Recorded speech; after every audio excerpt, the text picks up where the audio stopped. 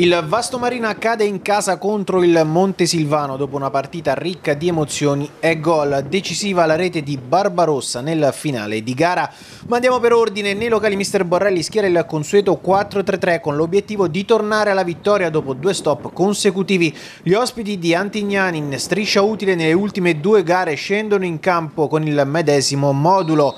Pronti partenza via e subito doccia fredda per la squadra di casa. Lupinetti prende la mira dalla distanza e al primo minuto fredda Cuomo con un missile che si infila sul palo lontano. Questo il gol che merita il replay. Al settimo minuto ancora pericolosi gli uomini in maglia arancio con Maloku ma non trova la porta da ottima posizione. All'ottavo minuto arriva il raddoppio con Samma Ciccia che dalla distanza fulmina Cuomo. Ecco il gol. Al nono il Vastomarina accorcia le distanze con Letto che la piazza a giro. Parabola imparabile per il portiere ospite al quindicesimo uno scatenato Letto incrocia con il destro. Ubertini respinge distinto con i piedi al ventinovesimo il Montesilvano nel momento migliore dei padroni di casa cala il tris con Lupinetti che appoggia in rete da due passi 3 ad 1 al 38esimo De Vizia calcia dalla distanza la palla impatta sulla traversa con l'estremo ospite che tira un sospiro di sollievo. Al 45esimo ancora pericoloso il Montesilvano questa volta Cuomo risponde presente. Da qui a fine primo tempo non succede altro. Con le immagini di Edoardo Daddario passiamo alla ripresa. Partono subito forte i padroni di casa. Al diciannovesimo il Vasto Marina accorcia le distanze con un colpo di testa di Devizia che deve solo appoggiare a rete un cross pennellato dalla sinistra.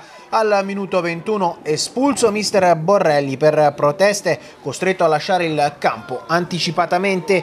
Al 22esimo Maloku centra il palo da posizione defilata. Gol mangiato gol subito. Infatti al 23esimo il Vasto Marina perviene al pari con una rete di letto che sigla la sua doppietta personale e fissa il risultato sul 3-3 al ventottesimo Ursini è strepitoso con un doppio intervento a salvare il risultato in particolare sulla seconda conclusione di Fieroni.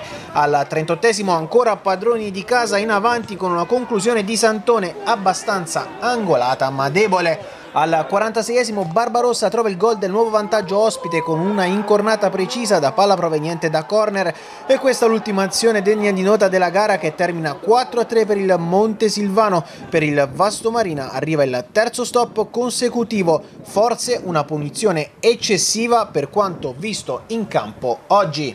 Mister Barreri arriva una sconfitta con il Montesilvano, primo tempo così così, poi nella ripresa siete usciti fuori, peccato per poi averla persa alla fine.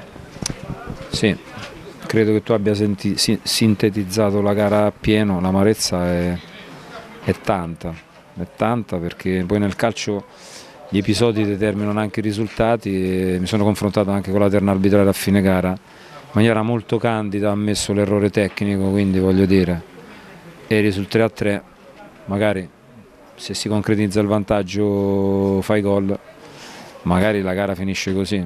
Non è andata così, diventa difficile raccontarla, quindi veramente ha sintetizzato tutto, probabilmente non siamo partiti bene, abbiamo provato a rimetterla su, anche sotto il piano emotivo, nervoso, siamo stati anche bravi a cavalcare le folate dell'entusiasmo, poi appunto